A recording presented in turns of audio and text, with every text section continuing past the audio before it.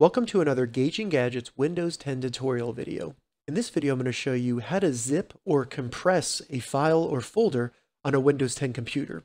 And we'll be doing this without any third-party software such as WinZip or 7-Zip. While those are great pieces of software, sometimes you won't have the option of using third-party software when you're trying to zip or compress a folder or file. So we'll be doing this just with the built-in features in Windows 10. All right, so to get started with zipping or compressing a folder or file, we need to do is first find the file or folder that we want to compress or zip. So as you can see here, I have a couple images, and what I want to do is compress these so that it will be one file that's smaller than the sum of all these files added up, and it's easier to send an email that way. So to get started, the first thing we need to do is select the files or folders that we want to compress.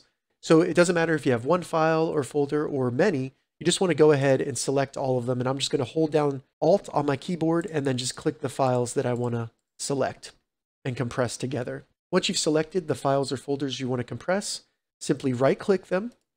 And in the menu that comes up, go down and select Send to, and then that'll open up a new menu and go to Compressed Zipped Folder. So select that. It's going to start compressing the files. And then once it's done, you have a new folder here. We can rename that.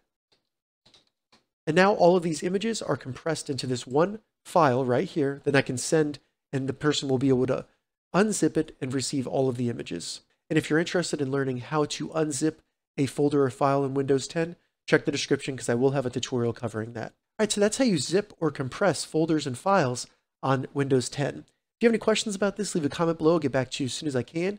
If you'd like to see more Windows 10 tutorial videos, check the links in the description. If this video helped you, give it a thumbs up, and please consider subscribing to my channel, Gauging Gadgets, for more gadget reviews and tech tutorials. Thank you so much for watching.